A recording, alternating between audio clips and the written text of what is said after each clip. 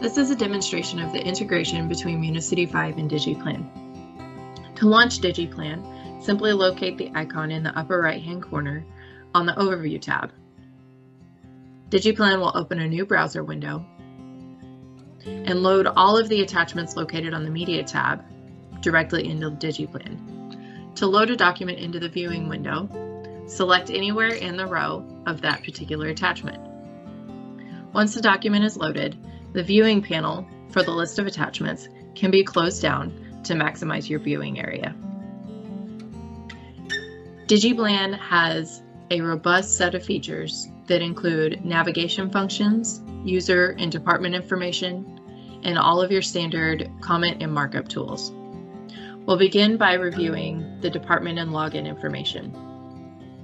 In the upper right hand corner, you're provided with a configurable list of departments and permissions for these departments can be restricted based on the user. Below that, you're given a list of navigation functions such as zooming, zoom to fit, zoom in and out plus and minus, and pan tools. To the left, we have our comment, text markup, shape, and measurement tools. We'll demonstrate a few of them now. First, let's zoom in on the garage area. And we'll begin by demonstrating the measurement tool. We'll simply measure the distance of this door located between the garage and the house. We can see that it is 3.2 feet.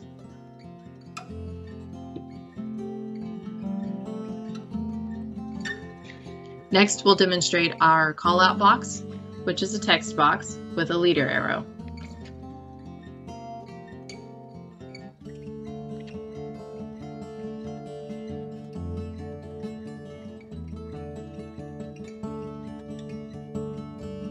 Once placed, all comment and textual markups have a style function that allow you to change the opacity, thickness, text size, and color of the text, the border, or the fill.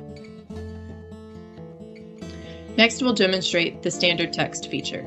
The standard text can be housed directly in DigEplan or can be fed from Municity 5. We have several search functions within the standard text option as well. We have a free text search function. So if we were looking for a text that included garage, Simply type the word in and our list is narrowed down to any occurrence of the word garage. In addition to the free search, we have grouping and sorting functions within each column, which allow us to group by that information. So if we're looking for building codes, we simply open this, and now we see the nine building codes that are loaded within this particular version of DigEplan. Once we've located the standard text that we wish to place, we're given three options we can insert as a, as a comment icon, which is similar to a sticky note, as a text box, or as a general comment. Let's add this one as a sticky note. Once placed, you're given a box, which allows you to edit the text very quickly. Let's go back to the standard text, and we'll select this standard text comment and add it as a free text box.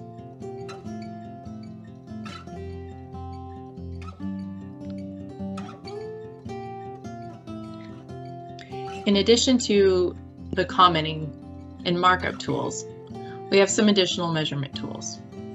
For that, let's navigate over to the guest house. The first measurement tool we'll use is for area. Simply select the outline of the area you wish to measure.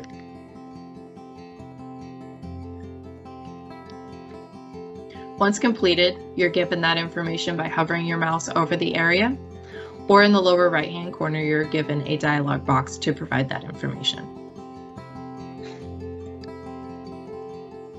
We also have a perimeter measurement tool, an ellipsis measurement tool, and a rectangle measurement tool. We have shape features, which include your standard shapes, as well as a bubble. So if you wish to bring attention to something in the drawing, you can place something like this around it. We also support inserting images. So if you had a standard detail to include of something such as a footing, that would be easily insertable onto a sheet. DigEplan also supports simultaneous plan review. We'll bring in another window that will include the comments from our first session. This particular session is logged in as a different user altogether. We can see that we're viewing the same areas in both sessions. I'm going to make a free text comment as the planning reviewer right next to this guest house.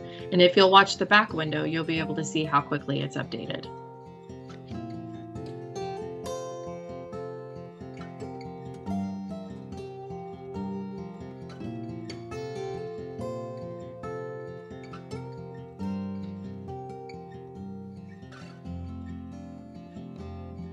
Now let's look at some of the stamping features.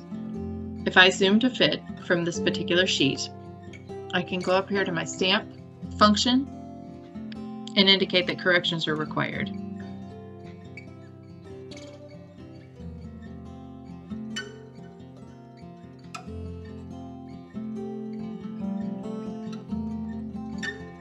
DigEplan stamps are dynamic and they're intelligent.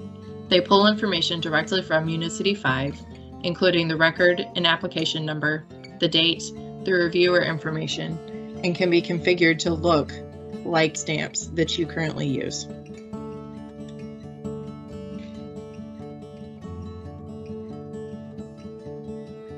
Now we will issue a corrections report. We will return to our documents list and select our plan set, go to processes, and select corrections required. DigEplan will then create a report that will include this sheet with markups on it and a cover letter, including a detailed summary of all of the comments and markups made. It will automatically add that to our documents list and feed that information back into Municity 5.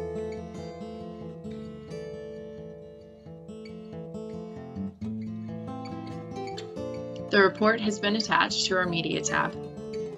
And from here, we can email the document from within Municity 5 or download it to print it or email it from our email to the applicant.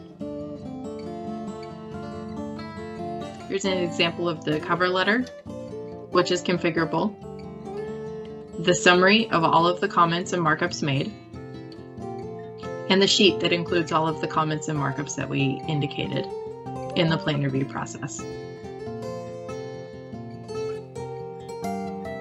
Now let's upload a revision and we'll demonstrate the compare functions.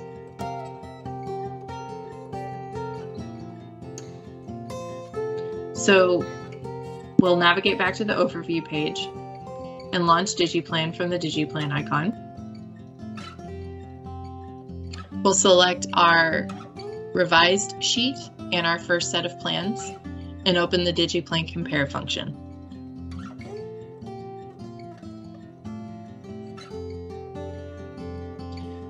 DigEplan takes version 1 of our plan set and version 2 of our plan set and generates an overlay.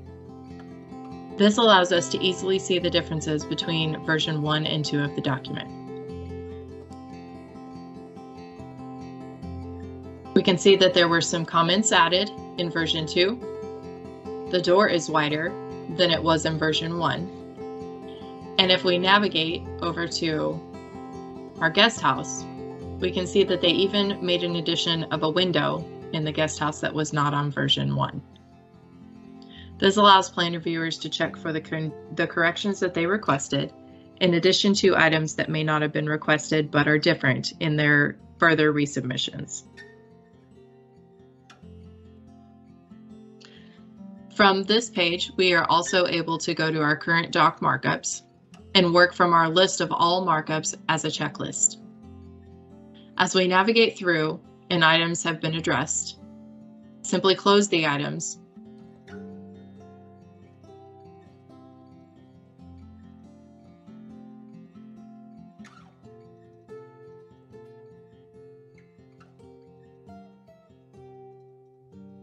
Should any items remain open and need to be moved to the second cycle of plans, simply migrate those forward.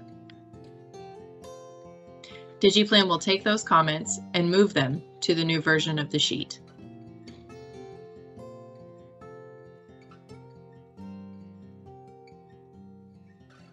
Now we need to create an approved set of plans.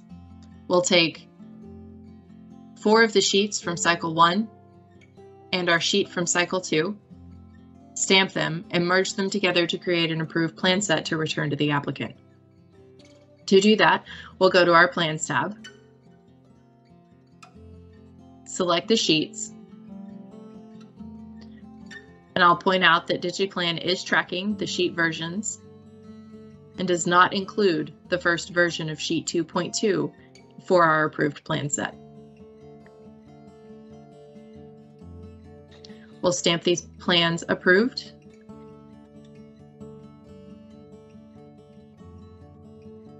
Reselect them and run a merged plan report.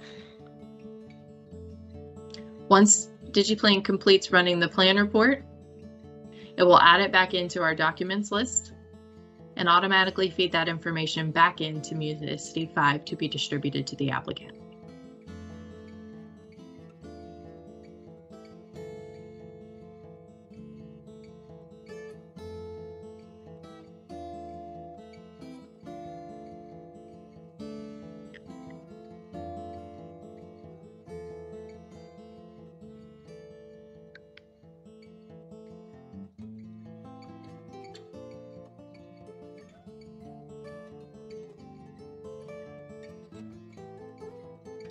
Once again, we're provided with our cover sheet that include any remaining open comments, as well as the approved plan set,